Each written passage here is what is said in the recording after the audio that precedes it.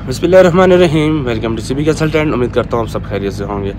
तो इटली की बात की जाए तो इटली का जो मेन चीज़ है, वो यही है कि आपका डॉक्यूमेंट जो है प्रोवाइड आप कर चुके होते हैं डॉक्यूमेंट आप बना चुके होते हैं डॉक्यूमेंट आपका आ चुका होता है, दो साल, एक साल गुजर चुका होता है अपॉइंटमेंट आपको नहीं मिल रही होती। तो उसके साथ साथ सिनेरियो कुछ यूँ हो जाता है कि कुछ डॉक्यूमेंट के साथ साथ एम्बेसी की जो रिक्वायरमेंट्स हैं, वो भी चेंज हो जाती हैं। तो आज हम बात करेंगे स्पेशली रिक्वायरमेंट्स के बारे में और अपॉइंटमेंट्स के लिटल बिट बारे में कि अपॉइंटमेंट का क्या सीन चल रहा है, ठीक है? जो बी एल एस है, वो क्या चाह रही है? मेन चीज़ अगर हम बात करते हैं स्पेशली डॉक्यूमेंट की तो डॉक्यूमेंट चार आपको रिक्वायर होते हैं। अगर आप वाइफ को बुला रहे हैं, ठीक है? आपका बर्थ सर्टिफिकेट मैरिज सर्टिफिकेट निकाह नामा और फैमिली रजिस्ट्रेशन सर्टिफिकेट बच्चे हैं तो साथ उनका भी एक एक बर्थ सर्टिफिकेट लगेगा और उनका एफआरसी में भी एडिशनल होगा, ठीक है?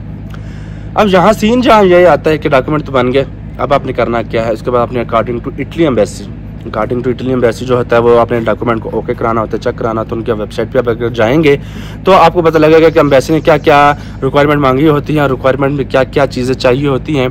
तो वो चीज़ें आपने प्रोवाइड करनी होती हैं लाजमी तौर पर। वो चीज़ें जब आप प्रोवाइड करेंगे, जब चीज़ें जो हैं, एडिट एडिट करेंगे अपने डॉक्यूमेंट्स में तो वो आपने अपने जूनियर काउंसिल रिकॉर्ड में भी लिखवाना होता है कि मैंने ये अपने डॉक्यूमेंट एडिट करवाया है। यही यही जो चीज़ मैंने आपको, मैंने अपने डॉक्यूमेंट में एडिट करवाई है, यही मेरा जूनियर काउंसिल में जो रिकॉर्ड है, वहाँ भी यही चीज़ होनी चाहिए।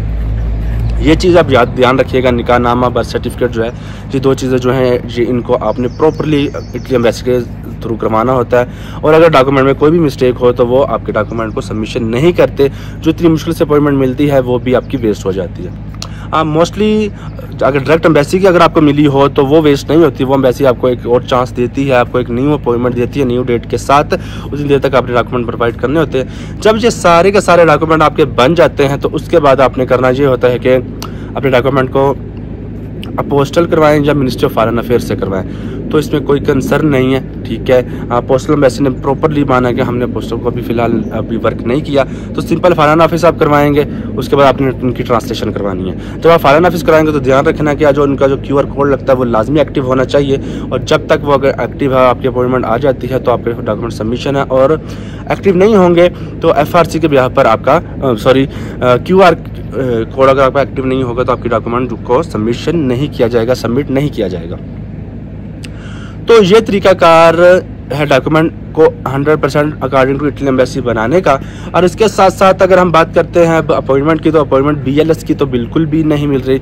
अगर आप नेशनल हैं तो आपको लिटिल बिट जो है अपॉइंटमेंट है दो महीने की एफर्ट के बाद हम वैसे एक अपॉइंटमेंट दे ही देती है।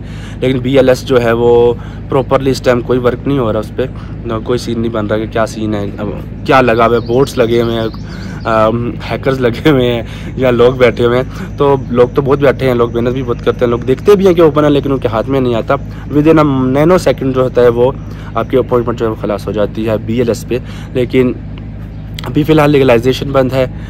फ़िलहाल जो है बाकी डॉक्यूमेंट जो है सिस्टम वो बिल्कुल ऑफ़ है साहब का, ठीक है?